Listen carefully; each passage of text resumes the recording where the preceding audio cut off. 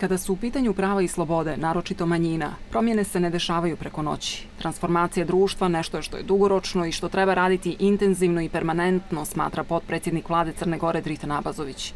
On je tokom panel diskusije efikasan odgovor na govor mržnje i diskriminaciju LGBT zajednice pod sloganom Ništa o nama bez nas, kazao da kada je u pitanju vlada nikakav vid diskriminacije ne dolazi u obzir i opomenuo da svi moramo biti posvećeni mijenjanju nabolje. I ne postoji politička cijena koju nismo spremni da platimo da bi se trudili da ljudima objasnimo da samo u društvu jednakih šansi i Crna Gora i region mogu da ostvare svoj puni progres i da ukupno unaprede ambijent u kome ljudi žive. Govor mržnje protiv LGBT zajednice je oblik nasilja, a svaki oblik nasilja protiv marginalizovane grupe je zločin i nažalost je jedan od najrasprostranjenijih oblika kršenja ljudskih prava širom svijeta, opominje ambasadorka Amerike u Crnoj Gori Judy Rising Reinke.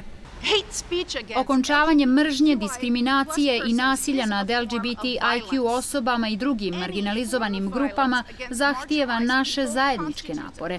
Radeći zajedno možemo da stvorimo svijet koji poštuje dostojanstvo svakog pojedinca. Iako je 21. vijek, Crna Gora se teško odriče konzervativnosti zbog čega se ne prihvataju različitosti.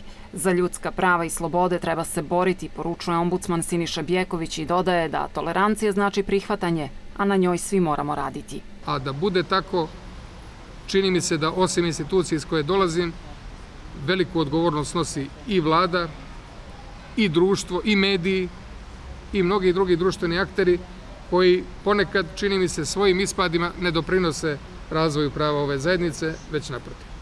Mjesec ponosa jun obilježava se u čast Stonewallske borbe koja se smatra najvažnijim događajem u pokretu za oslobađanje homoseksualaca u Sjedinjenim američkim državama.